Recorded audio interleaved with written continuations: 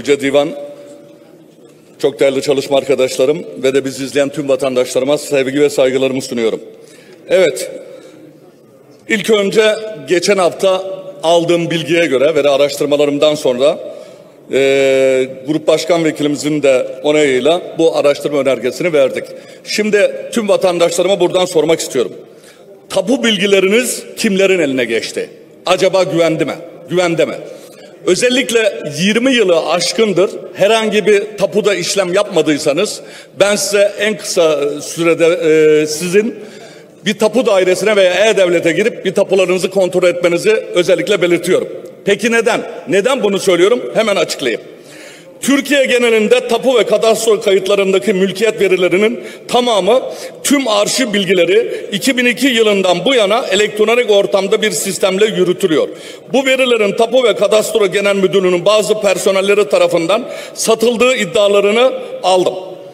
Ve de bu konuyu yürüten, yürüten soruşturma kapsamında birisi genel müdürlükte, birisi de Ankara'nın bir ilçesindeki tapu müdürlüğünde görevli olan memur açığa alındı. Ancak bununla sınırlı olduğunu tahmin etmiyorum. Daha fazla ileriye gideceğinin kanaatindeyim.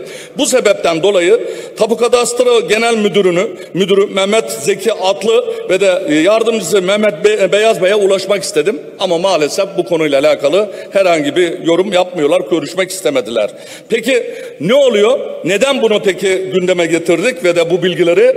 Bakın e, tüm merkezi nüfus idaresi sistemi MERNİS. Bu biliyorsunuz ver, e, verilerin toplandığı, tapu kayıtlarının e, toplandığı bir e, veri sistemine de TAKBİS deniyor. Bakın burada Mernis verileriyle ilişkilendirildiği tüm mülkiyet ve adres ve nüfus bilgilerine ulaştığı, ulaştığı iddialarıyla bu veriler ışığında 20 yıldır bakın burası çok önemli.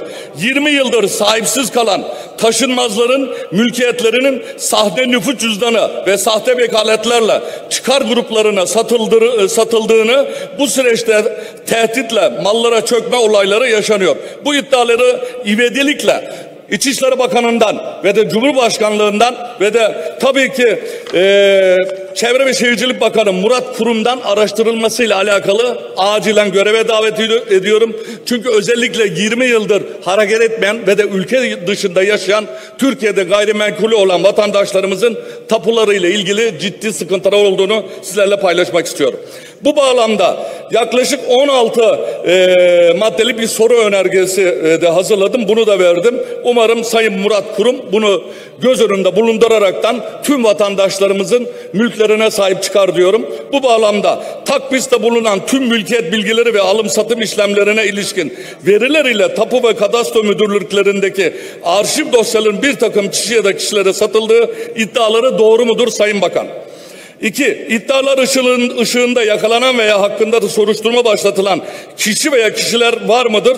Varsa bu kişiler genel müdürlükte üst makamlara bağlantısı araştırılmış mıdır? Sorumluları hakkında yapılacak yasal işlemler nelerdir?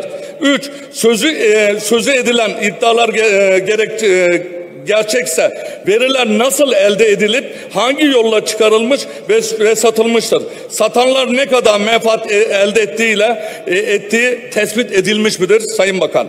Dört, böylesi önemli ve tüm ülkedeki vatandaşlarımızın mülkiyet bilgisi verilerin tutulduğu sisteme neden dijital güvenlik önlemler alınmamıştır? Güvenlik açının sorumluları kimlerdir Sayın Bakan? Beş, kişisel veriler koru, korunması kanunu yani K ve KK kapsamında getirilen yükümlülükleri nedeniyle koruma kuruma herhangi bir ceza kesilmiş midir? Kesildiyse ne kadar ceza kesilmiştir? KVKK'ya konu hakkında bildirim yapılmış mıdır? Sayın Bakan. Altı, çalınan verilerin çeşitli çıkar gruplarına verildi. Bu, grup, ve bu grupların yazmış, yazdırmış oldukları yazılımla tüm mernis verileriyle ilişkilendirdiği tüm mülkiyet ve adres ve nüfus bilgileri ulaşıldığı iddiaları vardır.